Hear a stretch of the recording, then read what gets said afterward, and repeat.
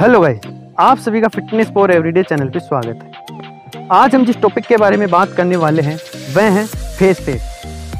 Face fate को कम करने के लिए ऑल ओवर बॉडी का फेट कम करना पड़ेगा। इसके साथ साथ हमारा बेले फेट भी कम होगा और आप जहाँ से आपकी बॉडी का फेट ड्रॉप करना चाहो, वहाँ से फेट ड्रॉप होगा। हमारी बॉडी में सबसे ज़्यादा जो फेट होता है, वह एप्स के ऊपर होता है। उसके बाद हिप लेग के ऊपर होता है और उसके बाद हमारे फेस के ऊपर फेट होता है।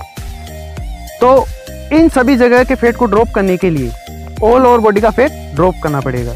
ऐसा बिल्कुल नहीं है कि केवल मेरा फेस का फेट ड्रॉप करूँ, ऐसा बिल्कुल नहीं होता।